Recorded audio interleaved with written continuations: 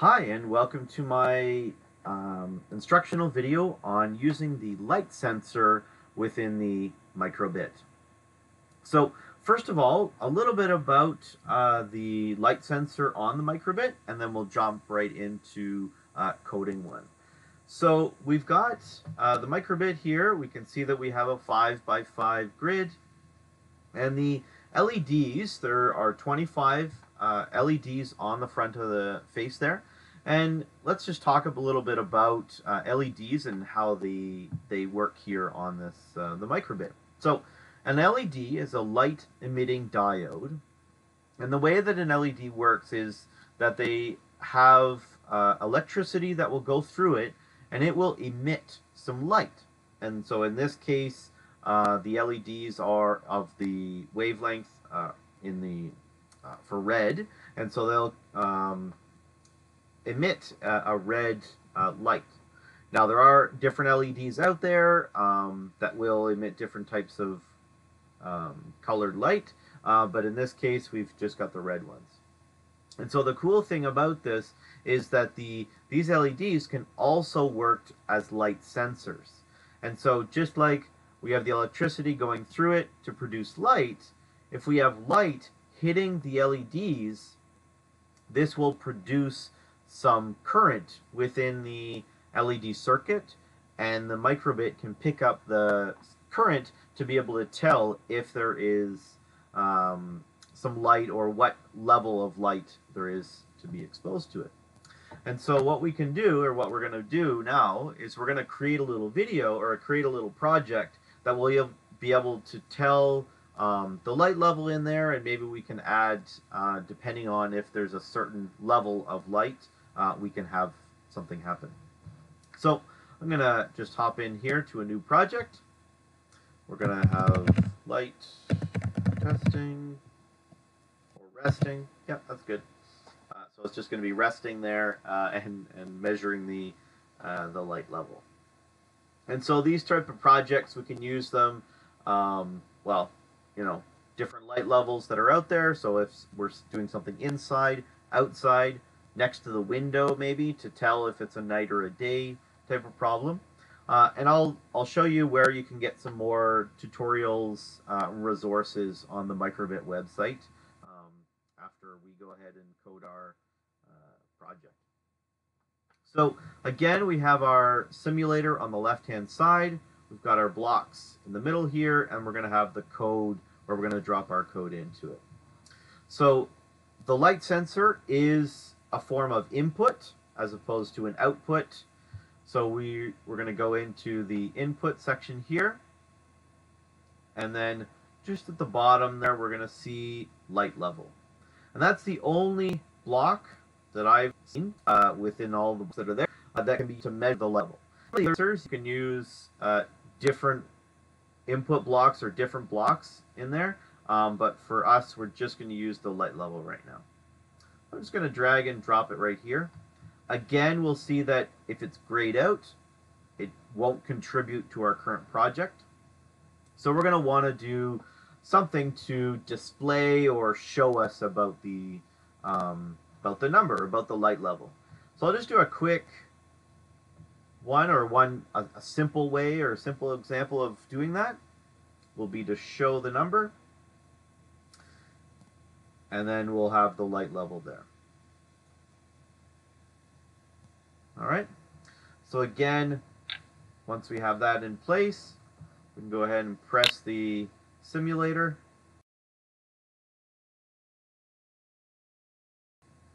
and then we'll see that on the simulator there there'll be a little light level uh, on the left hand side of the simulator. And so we can also see the scrolling number. So 128 and if I bring it up so 200 next time around we should see a 200 so again the light level on here will give us should give us a little information when you hover over these. It usually gives a little information about the block. It's just being slow right now. Uh, but we know that the light level can be measured from 0 to 255. And so that goes back to um, measurement and uh, and data collection and using a binary way of, of data storage. So um, we can talk more about that, but essentially what it means is a, a bit is storing a, a, zero or a one and using a collection of uh, bits, we call them bytes, uh, or eight, by, uh, eight bits is a byte, uh, we can collect a certain, we can collect 256 uh, different uh, values. And so this is where the light level is going from 0 to 255. We have 256 uh, opportunities, and so here we have this is the case. And so it's the same, it, and if you do the, the math, it works out to 2 to the power of 8. So, little side note for you. And uh, there we are. So we're just going to go ahead and we're going to pair our microbit. Microbit should still be connected. I'm just going to go ahead and pair that device. So again, we can see it pop up. Going to click connect. Great. Just going to check on my camera here.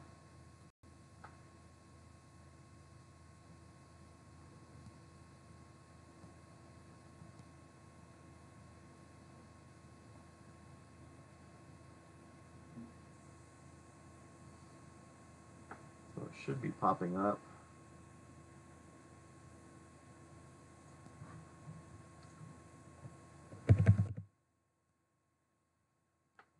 Just have to reconnect my camera. Sorry about that. So while that's happening, we can see, again, this is scrolling across. Um, and we can, you know, this is a very simple type of uh, code just to get your, you know, started uh, with using the, um, the light level there.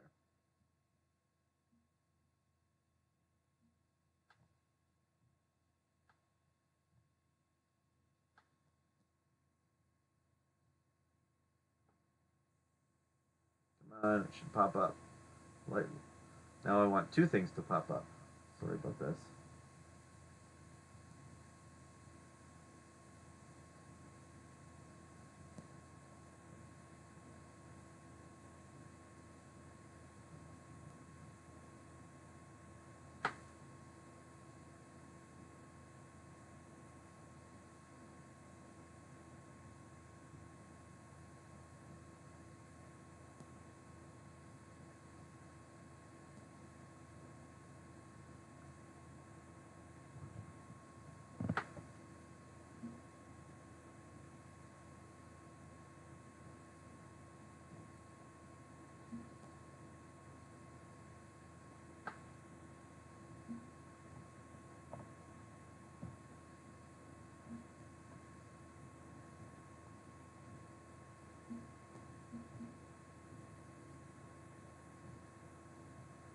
All right, let's try one more time. Just going to restart the app on my phone.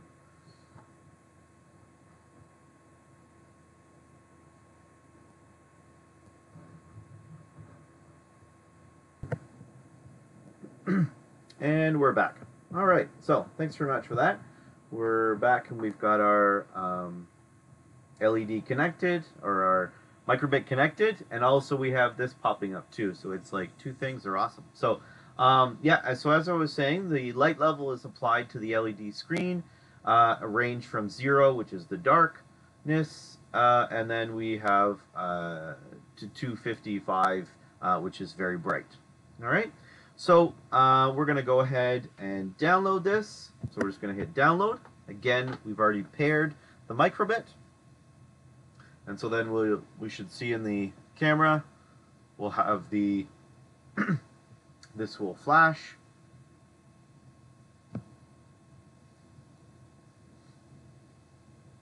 Just taking a little bit of a few seconds to download here.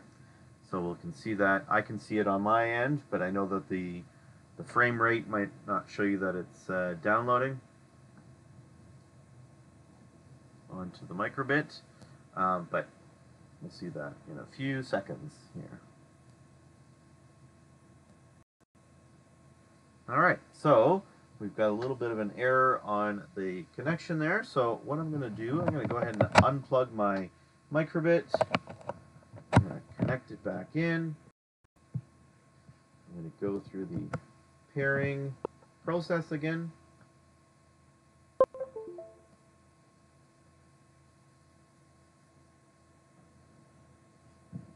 So, here. Well, it says that it's uh, connected. So, download to microbit. Let's see what it's got. Bad response 017.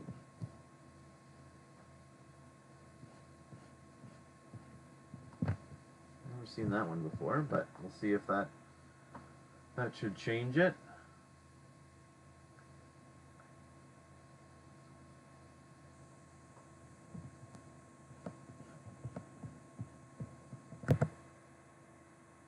Okay, so uh, I had to do a little bit of changing, um, but I think we're back. Uh, there was something wrong with the website and the the microbit and the cable and everything, but uh, we're back. So uh, you shouldn't have any of those sort of troubles, but if you do, please feel free to reach out. So again, we've got our our microbit just to forever um, showing forever the the number, uh, and we're just going to click download.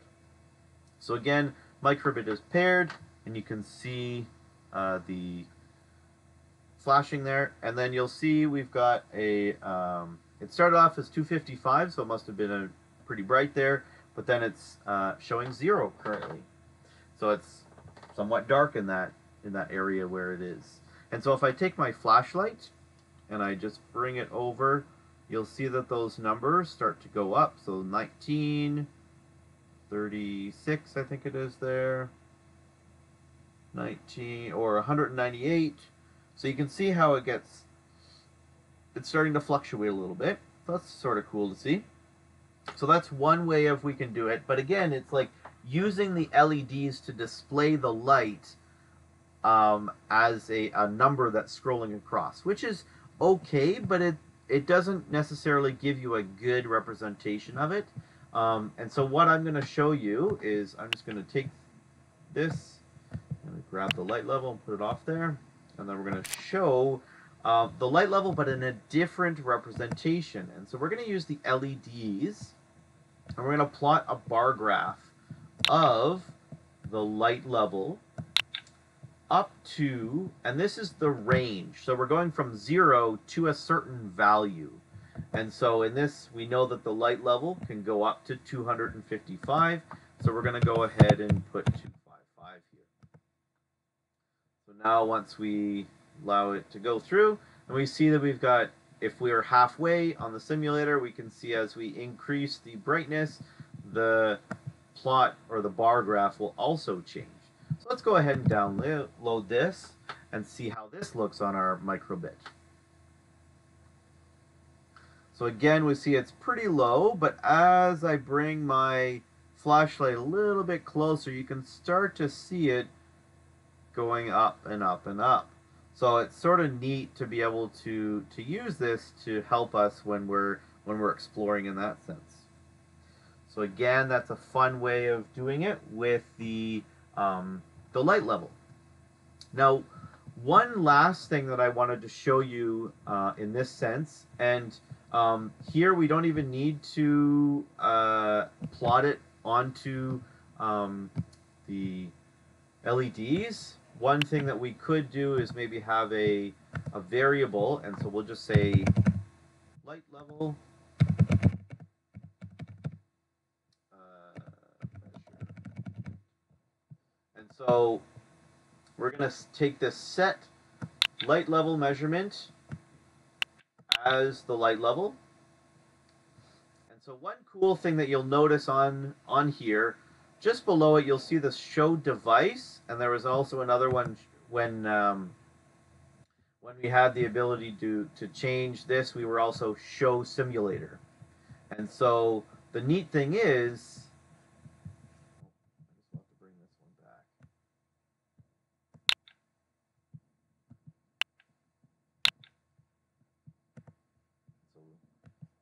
could have left it as before.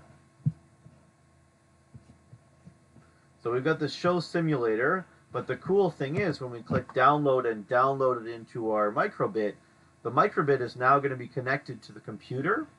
And so if I click on show device, the device is actually now, we can use this as a device uh, measurement, a data collection tool.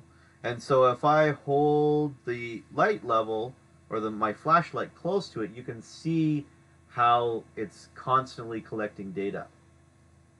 Now something like the light level doesn't necessarily change as quickly as this, but we can add in a, a pause in there and we can have it measure it over uh, 10 second periods or 20 second periods. So if I just go here um, to the pause, which is just down there, and then maybe I can change this to a five second interval, and then we'll download this again, and then we can see how that will look. So now we go to the device, and so now it's going to be a lot smoother and it will take five seconds to update but this is something that maybe we can look at um, you know changing that time time delay and see how it looks uh, over time you know having this again next to the window uh, how will that affect it so as I had promised I'm going to head over to the um, microbit website so this is the microbit.org um, slash projects page. And so there's a different, uh, there's a whole bunch of different activities here. And so uh, I see right there, there's the nightlight activity. Um, but what I want us to do is we're going to head down on the, the left-hand side. There's a device feature option. And so if I just click on the light sensor, it will bring three projects right away for me to be able to play with uh, and explore with my students. Um, so we've got the beginner, intermediate, and advanced. Um, and so, for example, here as a nightlight, uh, it goes through sort of the making of it, uh, how it works. So that's uh, interesting to see how it works, and then the code for it. And though now you can um, push this to your students if you're using the um, microbit classroom. You can open it directly and MakeCode. You can download the hex file and they can remix it or you can just go through it with them uh, on the uh, during your your lesson. And so um, this is just a nice way of, you know, if you're if you're sort of stuck and you need some more resources, uh, the make co or the microbit website is great for getting those um, in there. So again, wanted to thank you for watching this uh, tutorial on the uh, light sensor uh, and how it works. Um, again, please feel free to reach out if you need any support. And happy coding. Bye for now.